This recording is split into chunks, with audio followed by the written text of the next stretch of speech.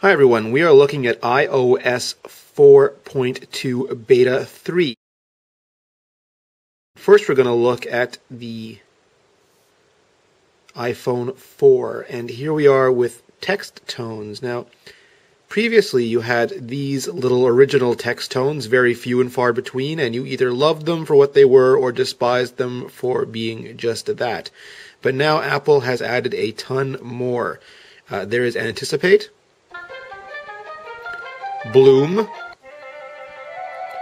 Calypso,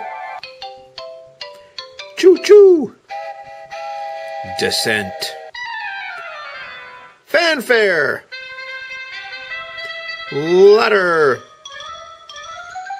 Minuet, Newsflash, Noir, Sherwood Forest,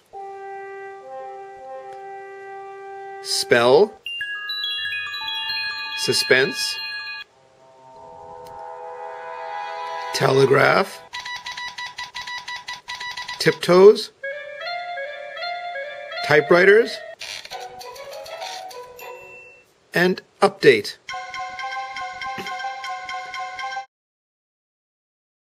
Also new, um, if we go down to the general settings, and we go down to um, restrictions, previously Apple added um, Game Center multi-playing games on and off, and now you can also take adding friends on and off. So if you do not want your ward and or uh, child to add friends to Game Center, you can just disable that. These settings are also um, in place on the iPad, so you can uh, remove adding friends there as well. Also new on the iPad is wallpapers. Well, you always had wallpapers, but they've got some new wallpapers. They have got wallpapers finally to equal the iPhone 4. So you have the same wallpapers you had before at the beginning um, over here, and then there's a bunch of new ones, and I'm not sure where exactly the new ones begin, but um, these are some of them. Actually, these are all of them. We're just going to go through them quickly here.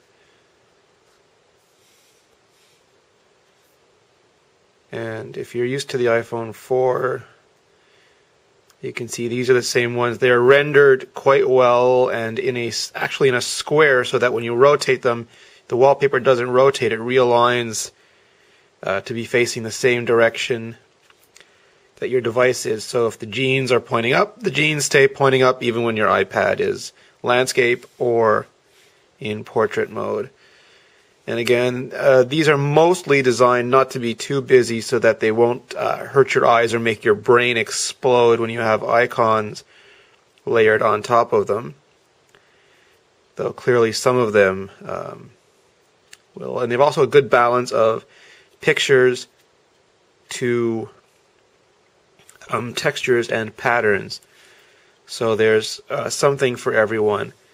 There's not uh, the same ones that are in Mac OS 10, uh, nor are there the animals and other things that are on the the um, new iOS Apple TV um, screensaver. So Apple's obviously licensing things for specific uses, but it is nice to see the addition. We have heard reports that uh, tethering is no longer present on some European carriers for the iPad where it was under Beta 2.